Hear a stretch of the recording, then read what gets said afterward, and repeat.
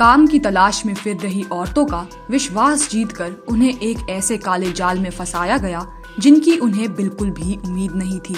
जी हाँ दरअसल सीहोर में पुलिस ने एक बड़े सेक्स रैकेट का भांडाफोड़ किया है।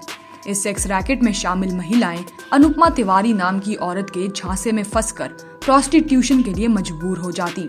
अब आप सोच रहे होंगे कि आखिर ये अनुपमा तिवारी है कौन? तो आपको बता दें कि अनुपमा ही वो महिला है जो इस सेक्स रैकेट को चलाती थी। इस सेक्स रैकेट में पकड़ी गई महिलाएँ दरअसल अनुपमा तिवारी के पास काम की तलाश में आई थी। अनुपमा इन महिलाओं को समाज के कार्यों में जुड़ने के लिए प्रोत्साहित करती थी। एक बनावटी पहचान लेकर कभी अपने आप को अनुपमा पत्रकार बताती तो कभी एक नेता। साथ ही में ये अपने फेसबुक पेज पर भी कई वी के साथ फ़ोटो शेयर करती। ये सारा खेल औरतों को फंसाने के लिए ही खेला जाता, जिसमें बड़ी आसानी से अनुपमा पर भरोसा कर सारी औरतें उसके साथ जुड़ जाती।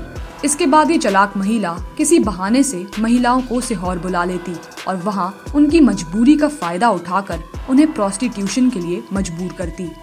इस औरत पर भरोसा कर बैठी महिलाओं के तैयार होते ही अनुपमा इन्हें सेक्स रैकेट के व्हाट्सएप ग्रुप में ऐड कर देती।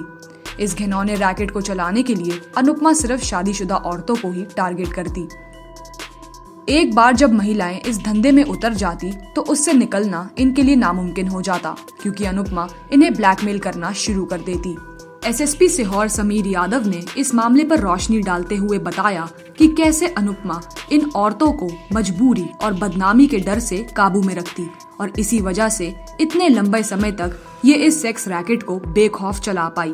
पुलिस को अनुपमा के कांटेक्ट में पंद्रह से ज़्यादा महिलाओं की सूचना मिली है।